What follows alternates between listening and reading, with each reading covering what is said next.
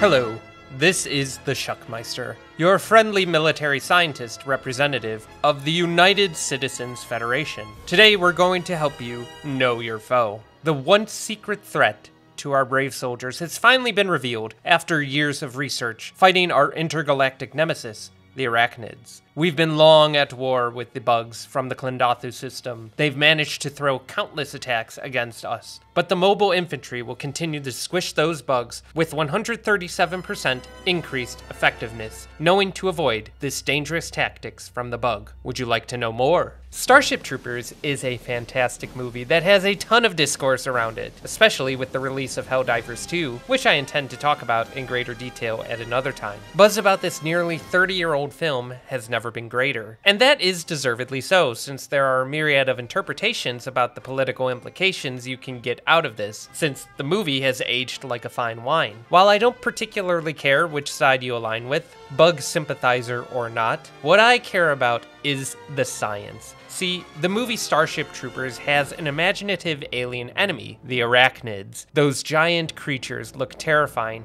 and act even more insane. It's no surprise that bugs have been a common alien threat in science fiction because of the way they act in our own incarnate world. Think about the praying mantis, for example, where females will eat the heads of males after mating. There's something inherently unsettling about insects and other arthropods, which draws so many people to want to study and understand them. Many of their body types have existed for ages before our own. The arachnid army is a formidable force that can easily decimate hundreds of thousands of soldiers by throwing countless numbers of drones at the Federation's army. There's a variety of insect types in the arachnid army, but the most common and well known are the warrior bugs, tanker bugs, and plasma bugs. The warrior bugs are the first creatures we're introduced to at the beginning of the movie, and they act as the biologically standard species of the arachnids. They're pretty large at 2 to 3 meters long with giant mandibles and camouflaged color palettes for the purpose of fighting as foot soldiers. These warrior bugs have close relatives with wings that can fly. There are two other notable special bugs that are much larger, the tanker and the plasma bugs. The tanker bugs have many beetle-like features except for the fact that they shoot fire acid out of their heads. And the plasma bugs, why, they have organic artillery cannons. You know,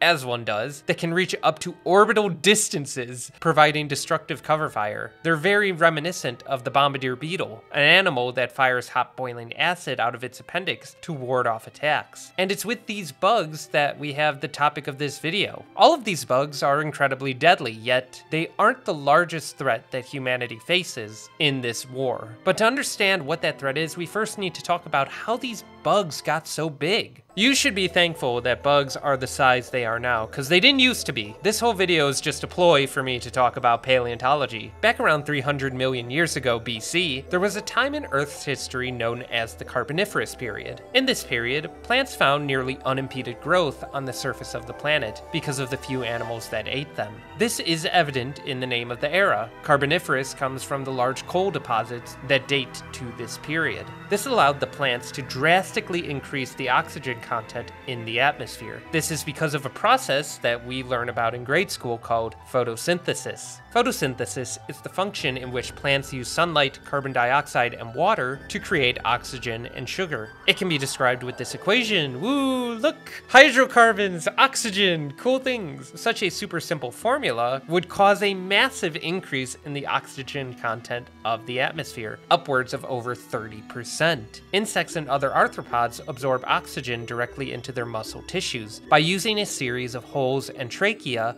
across the sides of their bodies because they don't have lungs. Their size is directly proportional to the amount of oxygen that they absorb. Introducing Arthropleura and Meganeura, two of the most well-known giant insects from this era. Discovered in 1854, Arthropleura, Greek for jointed ribs, was a massive millipede that could grow to over 2.5 meters long. And while thought to be a vegetarian, sharp mandibles could certainly do some damage. And Meganeura, Greek for large nerved, was discovered in 1885, a dragonfly the size of a hawk. You You'd have to have large nerves of steel to actually face down these gents. These were terrifying creatures that actually existed on Earth. And we actually know that the oxygen content of certain environments in Earth today leads to variations in growth for arthropods. For example, in the oceans of the polar regions, because of the lower temperatures, they have higher oxygen content, which allows marine arthropods to grow to larger sizes. Compare the terrestrial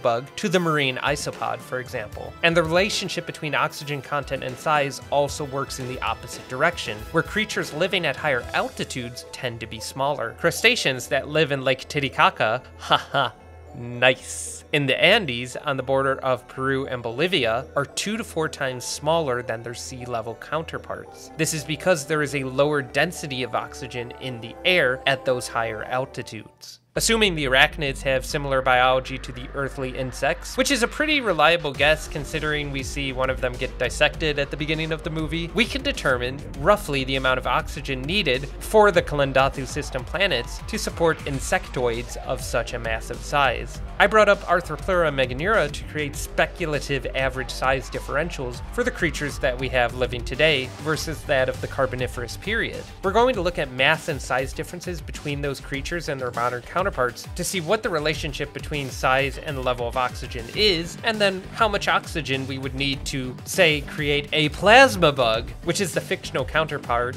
of our bombardier beetle. I'm choosing the largest arachnid just to see the maximum amount of O2 needed. First, let's compare the weights of our modern insects in question, millipedes and dragonflies. The average giant African millipede has a maximum weight of around 70 grams, which is the specimen we're looking at today, and the giant petal tail is the largest species of dragonfly with a 16 centimeter wingspan, and while they're fairly light because they have to fly and maintain high maneuverability, they're only about a couple of grams. Meanwhile, 300 million years ago, Arthropleura weighed close to 50 kilograms, which is the weight of an average 14 year old American boy. While Meganeura would be up to 150 grams, that's still 100 times the weight of its modern counterpart. Phanerozoic atmosphere oxygen and carbon dioxide models show that in recent geological findings, there was a decrease in atmospheric oxygen partial pressure from 32 kilopascals to 13 kilopascals by the Triassic period. But what does this mean? I don't know.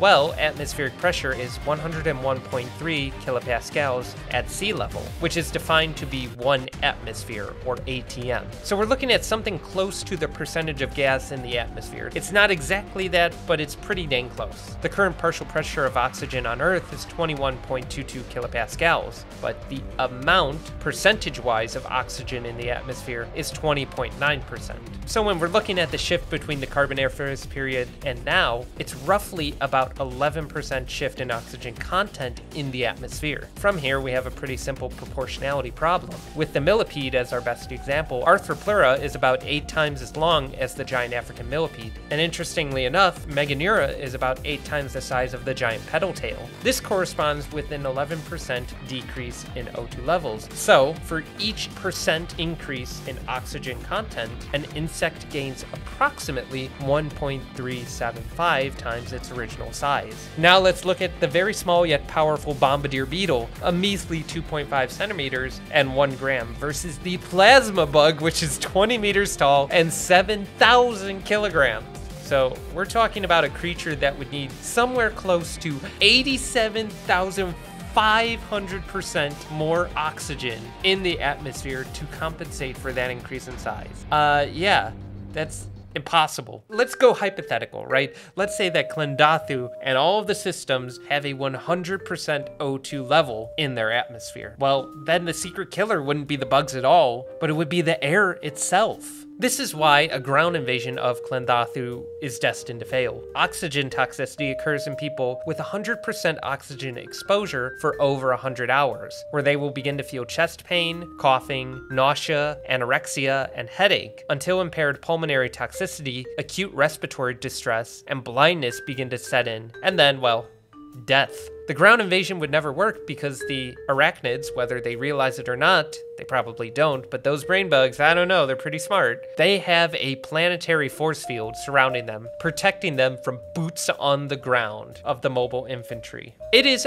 fairly interesting, though, that a planet like Klendathu and the others in its system are primarily deserts, and yet they're able to maintain this scale of life. This is something we see completely opposed to deserts on Earth, which tend to have smaller sized animals for the most part, and your larger sized animals that are able to actually maintain lifestyles in the desert are specifically adapted to retain water. Even more interestingly is that gravitational acceleration appears to be nearly identical to that on Earth. That's why you don't see the soldiers jumping around like moonmen. It's hard to imagine how these bugs have such high mobility, given that their exoskeletons would weigh them down the most and increase with their size too. Perhaps these issues may have been rectified in Helldivers 2. I wouldn't know yet because I haven't played it. However, I am going to start and I wanted to get this video out before I did. If you like it, give a like and subscribe for more science applied to all things I enjoy in my life. God bless, and I'll see you all next time.